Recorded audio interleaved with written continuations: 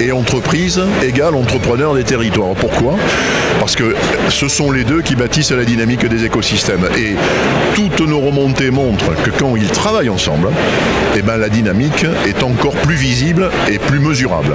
Donc euh, nous, on encourage à l'occasion des élections municipales, évidemment, tous les candidats euh, et, et surtout ceux qui seront élus euh, à venir vers les chambres de commerce. Entrepreneur des territoires, ça veut dire qu'on développe de la richesse sur le territoire, hein, qu'on développe de l'activité, qu'on développe de l'emploi. Et ça, très clairement, c'est une fonction euh, centrale des entreprises. Mais aujourd'hui, on le voit, euh, les élus locaux euh, et les élus nationaux, c'est aussi un des moteurs de leur action, de savoir développer ces activités sur les territoires, accompagner les entreprises et leur permettre de créer de l'emploi. Donc on doit tous travailler main dans la main ensemble.